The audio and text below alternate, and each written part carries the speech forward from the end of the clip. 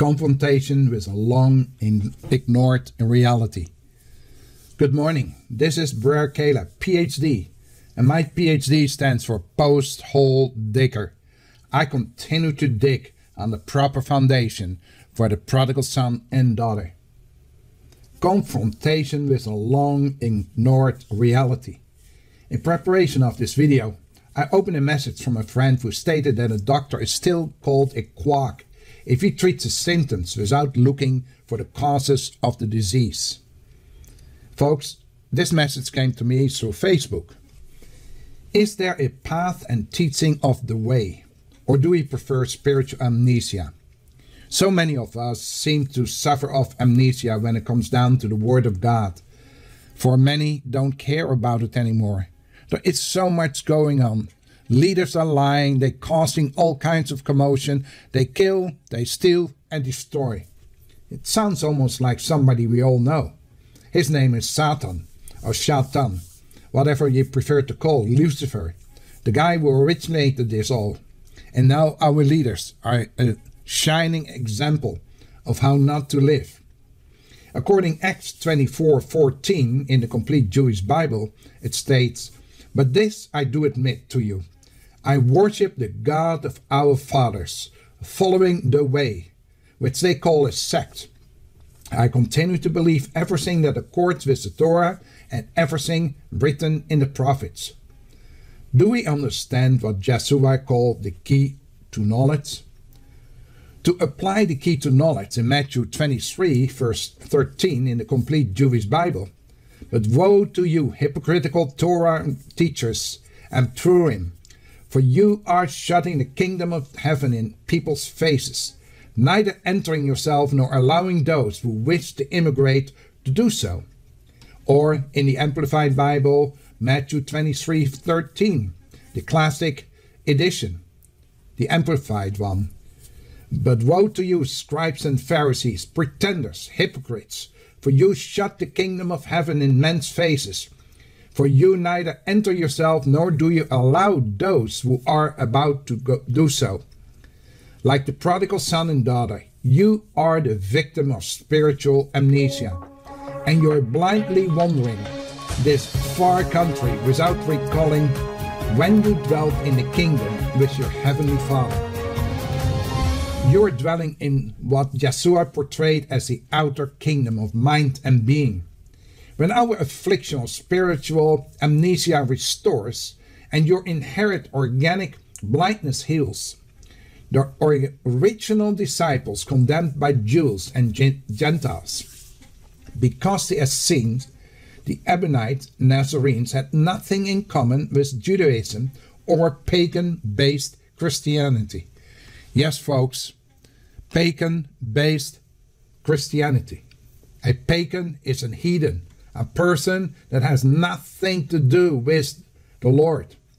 With the restoration of the gospel's teachings, it will be the first time an original understanding and objective of the scripture. They were presented to the world from an, other, an actual author who has drawn upon soul memory from the life. The author lived in the first century to convey the real story and account of scriptures.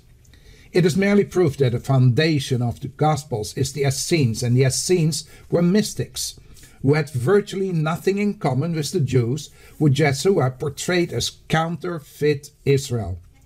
And in this respect, the Jews are not and never were the chosen people of God.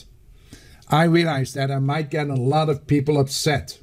I will repeat this.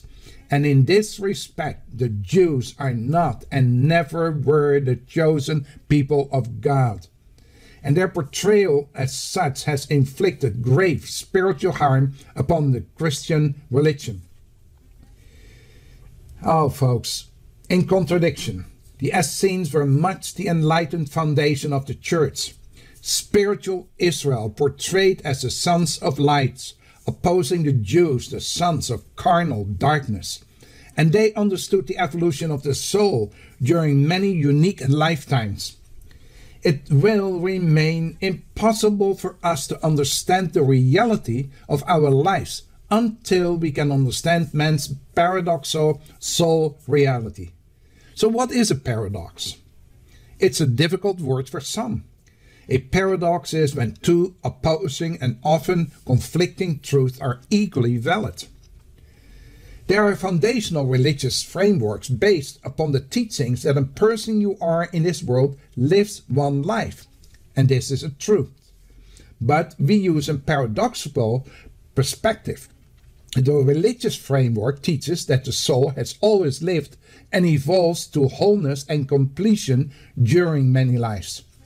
Yeshua taught, and it proves that the original disciples believed in the teaching that while you only live one life, your soul evolves to wholeness during many lifetimes. And unless you bring these opposing paradoxical truths together, it will remain impossible for you to comprehend the meaning and purpose of the life you're living in. Your soul and true self came into being in the Alpha of creation. In other words, in the beginning of creation to fulfill the edicts of know thyself is for you, as the prodigal son or daughter, to overcome your affliction of spiritual amnesia.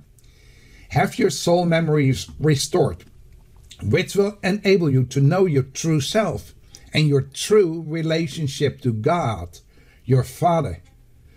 Who is your one and only Father and source of being? And Jesus said, and do not call anyone on earth Father, for you have one Father, and he is in heaven. That is in Matthew 29, verse 3. God is as much your Father as he is the man Jesus' Father. And as your brother, whatever is true of the man Jesus is also true of you.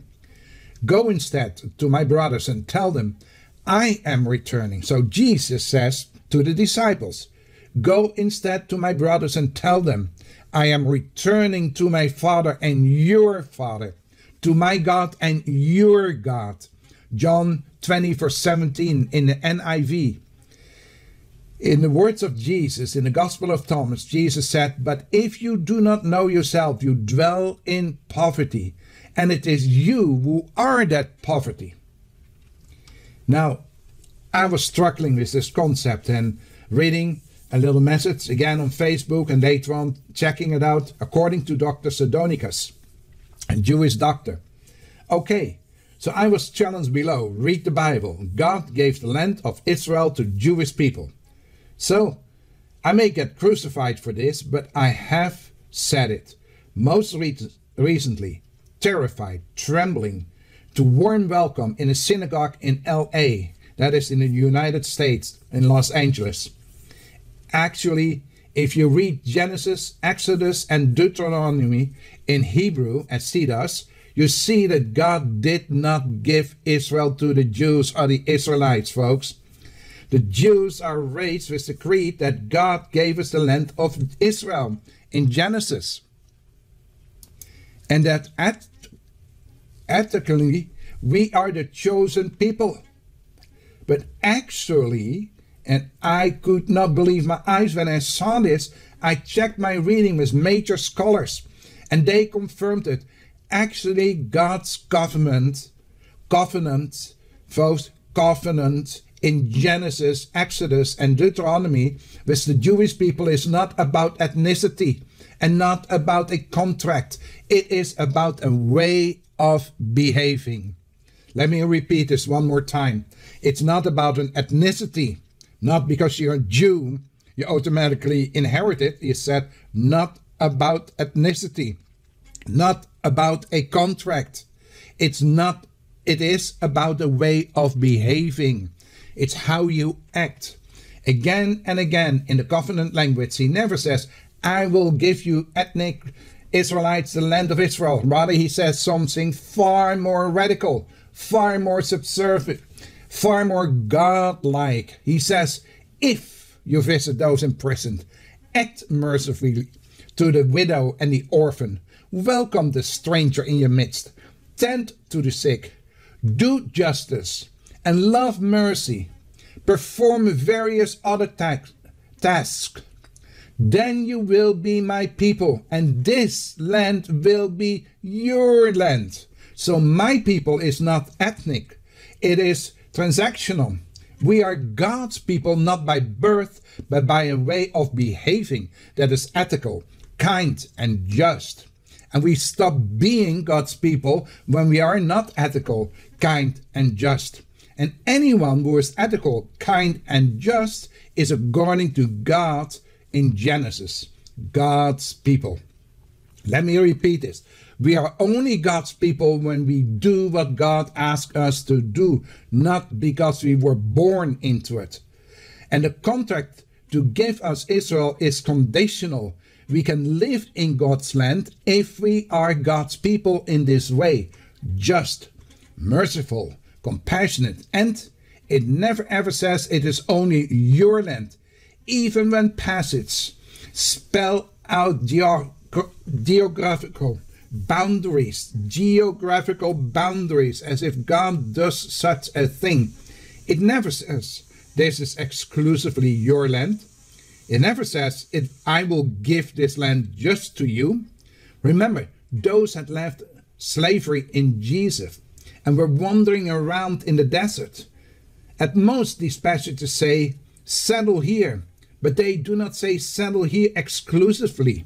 Again and again, it talks about welcoming zarim, translated as strangers, but can also be translated as people, tribes who are not you in your midst. It blew my mind, and I hope it will blow yours as well. This might be very, very hard for some of you, and maybe for most of you, but no amount of evidence will ever convince an idiot I hate to say this, folks, but this is Brother Caleb. And I tell you, this is a truth that most of us don't want to recognize. It's a confrontation with a long ignored reality.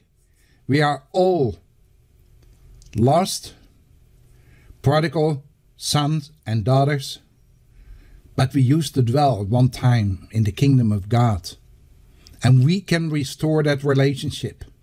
Now remember, tough times never last, but tough people do. With this comes also an healing of the eyesight. Our brain capacity will be able to manage this if we open our hearts.